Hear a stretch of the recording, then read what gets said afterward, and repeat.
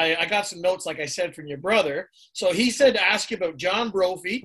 Um, I guess uh, he coached with, the Maple Leafs in the '90s, and he was their coach, your coach, I guess, at the time. Yeah. So Brophy was quite a cat. Christ, you know, I could I'd make you know a lot of people squeamish right now. Some of the things he used to say to say to us in the room, but you know, I just uh, one quick story I'll tell you about him. Um, I remember we were in the playoffs and we had these two uh, native kids from up in the Pas, Manitoba, and uh, and they were deathly afraid of him. And uh, we he had this sign made. He was he do these weird quirky things, but he had this sign made up said, "Put a knife in their throat tonight, boys." Um, and and end this series or whatever. And, and in the SPHL, this first series of the of the playoffs was best of three. So we won the first game, and uh, we were coming back home. So if we win tonight, we're the series is over. Well, he's got an actual like butcher knife jammed into this Bristol board. So, and I said to myself, I said, if we don't come out playing tonight, I said that crazy fucker is going to stab somebody or hack them to the bits. Like he's fucking nuts. So sure as shit, we come out and I think we were down three nothing in the first period, and and I thought, holy fuck! I said to my captain at, at the time was Brian Goudie. I said, Gowdy, I said, listen, buddy, I said, we're gonna have to make sure someone gets that fucking knife. Well, he'd already, uh, Brof was already in there like a flash, and he was 74 at the time. Like he was like, Shit. holy fuck, yeah.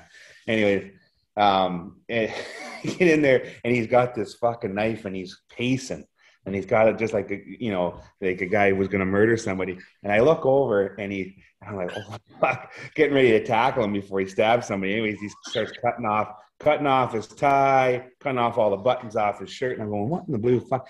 Anyways, he starts waving it in front of these native kids like this, and the one starts crying. Anyways, I start laughing.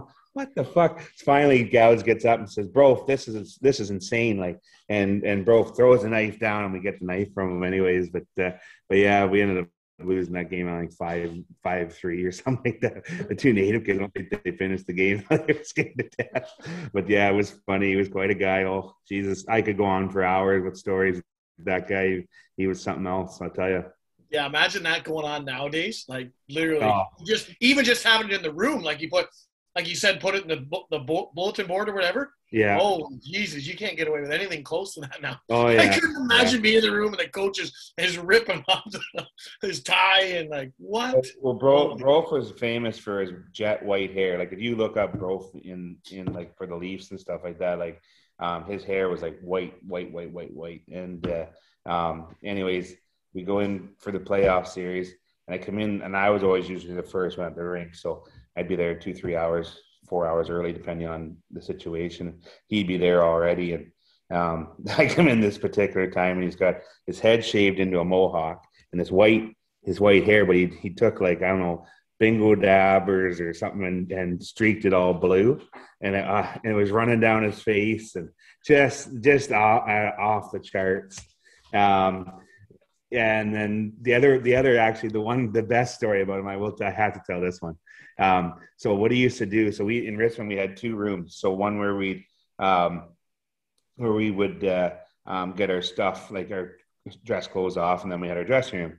So he would he would always see me, and he'd go around the other side, and he'd go and he'd either cut my damn ties or tie my shirts in knots, and he'd just be an asshole to me all the time.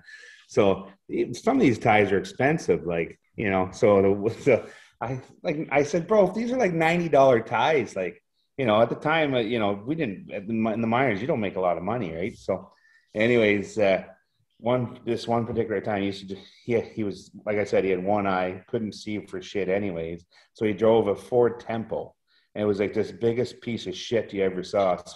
And nobody ever wanted to park near him because he just ran into shit. So I said, I'll fix him. So what I did was I I let all the air out of his tires all four of them. And we were at practice, and I'm like, I'll fix them. So we were all we come off of practice, and we're all fucking trying to get our shit on um, undone quick, so we get out there and watch him go out there and have a fucking meltdown. Well, we ran out, and the fucker he's running up the thing, running up the ramp at the thing, and driving with flat all four flat tires. He lived at the Holiday Inn, like ten kilometers away. He drove all the way down to the the, the Holiday Inn and uh, the sparks are flying. We're getting, we're running in our vehicles trying to catch them. And by the time we got there, there wasn't a fucking skin of rubber on the fucking tires left. Never even, never even batted an eye at it. He was just. Did he, he not know, or was he just like, didn't give a fuck? Yeah, just didn't care. I'll, Yeah. fucking, I'll figure it out when I get there. I'll figure it Yeah, didn't care. No, didn't give a shit. And he Oh. wouldn't. He was one of those stubborn guys that just he was just like you know, he wouldn't give you the satisfaction of of uh, of coming in and freaking out. He said, "Fuck you." That was the way he was. So yeah, but he was a lot of fun.